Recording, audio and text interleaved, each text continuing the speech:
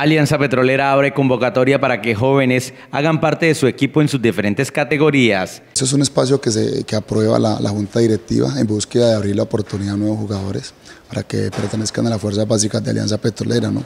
en su proceso de ediciones menores.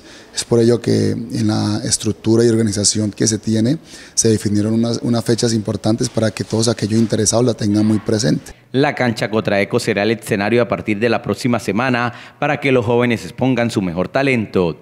La idea es que vamos a arrancar el día martes 12 y miércoles 13 de noviembre a las 7 y media de la mañana en la cancha Cotraeco para la categoría sub-17, jugadores nacidos en los años 2004 y 2003. Jóvenes en tres categorías, sub-15, sub-17 y sub-20. Posteriormente, el día jueves y el día viernes de esa misma semana la oportunidad va a ser para los chicos nacidos en los años 2000, 2001 y 2002 para eh, conformar la categoría sub-20 y ocho días después eh, vamos a tener la oportunidad de abrir el espacio para eh, la categoría sub-15. Alianza en estas tres categorías participará en los torneos municipales y nacionales del próximo año. Obviamente es un espacio que se abre, es una política de la institución que quiere brindar la oportunidad a todos los jugadores del Magdalena Medio y a nivel nacional para que aprovechen esta, esta oportunidad y seguramente se preparen de la mejor manera en lo que queda de tiempo y puedan asistir, organizar la logística de sus desplazamientos, de sus viajes,